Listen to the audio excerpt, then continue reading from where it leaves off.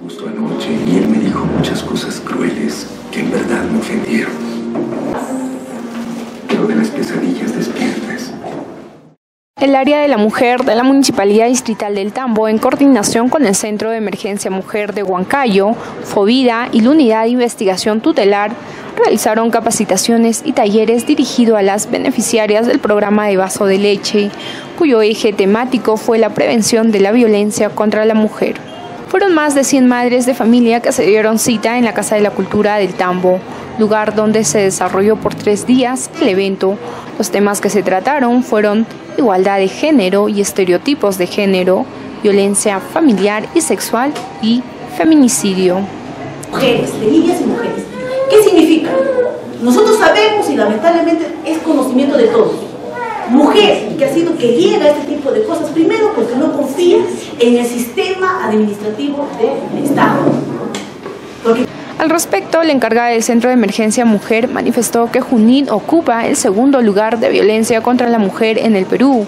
Es alarmante y vemos que las cifras se van incrementando. Es necesario fijar políticas públicas en cuanto a este tema, manifestó. Y esa es una forma de violencia de género. Ejemplo, cuando te dice, ¿tú qué haces ahí? ¿Por qué tu hermano está cocinando si esa es tu obligación? Los varones no cocinan. ¿Y por qué tú no haces? ¿Cierto? Ahora, desde ese momento, desde el espacio privado de la familia, que es un hogar donde se debería de respetar nuestros derechos como seres humanos, pero lo es justamente presenciando ese tipo de relaciones violentas, de hostigamiento, ¿cómo creen que los hijos crecen? Como los celos.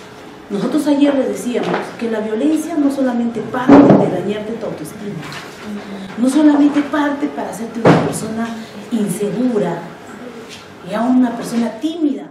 Por su parte, la encargada del área de la mujer, Rita López, señaló que se continuarán con estas capacitaciones, cuyo único objetivo es que las mujeres conozcan sus derechos y estos no sean vulnerados.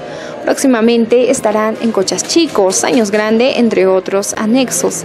Además, este 3 de agosto serán presentes en la marcha convocada a nivel nacional. En las charlas brindadas se proyectó videos sobre casos contra la violencia hacia la mujer y víctimas que pudieron evitarlo. Algunos asistentes se animaron a contar su propio testimonio de vida.